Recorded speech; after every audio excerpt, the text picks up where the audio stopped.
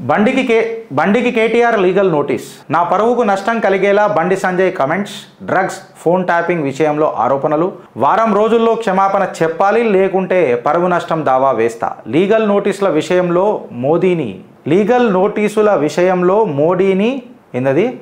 అనుసరిస్తా.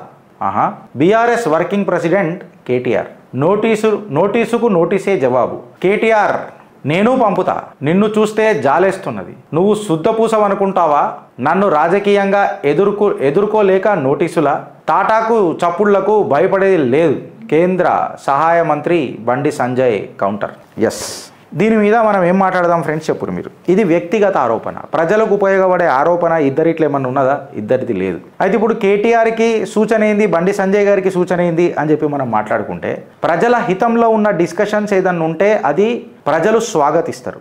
ఇలా ఆంధ్రాలో కూడా గిట్లనే జరిగింది. మనం తెలంగాణ ఇంకొక ఆంధ్ర చేయొద్దు అని అనేది నా బాధ. ఆంధ్ర అంటే నేను ఆంధ్రలో తిరతలేను వాళ్ళు ఇట్లనే వ్యక్తిగత ఆరోపణలకు పోయి ప్రజల సమస్యలను పట్టించుకోక ప్రజల సమస్యల మీద ప్రశ్నలు అడగక ఇలా వాళ్ళ వ్యక్తిగత అజెండాకు పెద్దపీట ఇవ్వడంలోనే ప్రాబ్లం అయింది ఆంధ్ర నష్టపోయింది. అది తెలంగాణలో ఆల్రెడీ మనము ప్రశ్నించక ప్రశ్నించలేక లేక బానిస బతుకులకో బాంచన్ బతుకులకో అలవాటు పడ్డందుకు పది సంవత్సరాలు ఆర్థిక విధ్వంసం జరిగింది తెలంగాణలో. ఇది కరెక్టా? కాదా? సో నా కోడిది మా నేను ఒక చిన్న బుడుగను ఉండొచ్చు నేను కోనికిస్కా గొట్టంగా ఉండొచ్చు నేనేమంటానంటే నీ పర్సనల్ లైఫ్ నీ ఇంట్లో కుర్చీ మడత పెట్టి పెట్టేసుకో మాకు సంబంధం లేదు.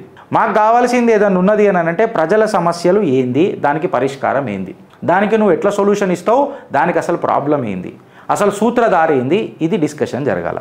ఇప్పుడు కేటీఆర్ విషయంలోకి వస్తే నువ్వు పరువు నష్టం దావా వేసినావు సపోజ్ ఇంట్లో టిఫనీ చెయ్యాలి అని అని అనుకుంటే కేటీఆర్ ఇప్పుడు drugs gigs etcetera etcetera phone tapping ఏదో వచ్చినాయి. ఫోన్ ట్యాపింగ్ కేటీఆర్ ఇప్పుడు పొగ్గులేటి శ్రీనివాసరెడ్డి కూడా అన్నాడు కాబట్టి కీలకమైన సాక్ష్యాలు నేను బయట పెడతాను అన్నాడు కాబట్టి నీ నోటీస్ని కొన్ని రోజులు ఆపు మళ్ళీ. రెండు మూడు రోజులలో ఇడుస్తాను అన్నాడు కదా కొన్ని రోజులు ఆపు.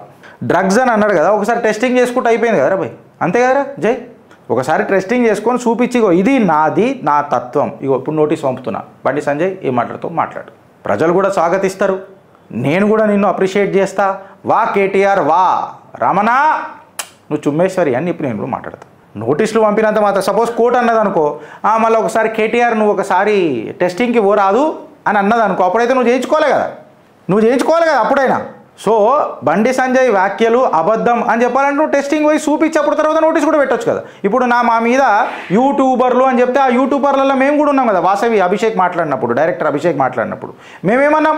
డంకేపే చోట్ నువ్వు దా డాక్యుమెంట్లో తీసుకొని నేను కూర్చుంటానన్న ఇప్పటిదాకా ఆయన ఛాలెంజ్ యాక్సెప్ట్ చేయలేదు వేరే విషయం. మీరు తీసుకురండి నేను కూర్చుంటా అని చెప్పిన.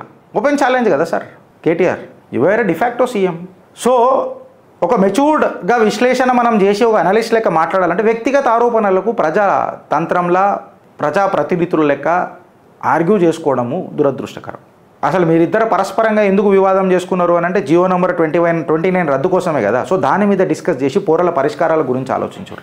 డైవర్జెంట్ టాక్టిక్స్ లెక్క ఇద్దరు పాల్పడకుర్రి ఇందులో రేవంత్ రెడ్డి అడ్వాంటేజ్ తీసుకుంటాడు.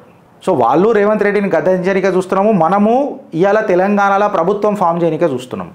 సో మన లక్ష్యం ఎట్లుండాలి అని అంటే రాజకీయ అడుగులేసేటట్టు ఉండాలి తప్ప వ్యక్తిగత ఆరోపణల దిశగా ఉండొద్దు అనేది నా తత్వం. దీని మీద మీరు మీరు మీ కమెంట్ రూపంలో ఏం చెప్తారు అనేది మీరు చెప్పు ఫ్రెండ్స్ ఎందుకనంటే ఇరవై నాలుగు గంటలలో మనము ఒక ఆర్గనైజ్డ్గా ఆర్గనైజ్డ్గా ఆర్గానిక్గా ఎట్లా ప్రజా సమస్యల మీద పోరాడతామనేదే మన ఆలోచన ఉండాలా అన్నది నా ఉద్దేశం. ఇది మీరేమంటారో మీ కమెంట్ రూపంలో చెప్పి నాకు చెప్పురు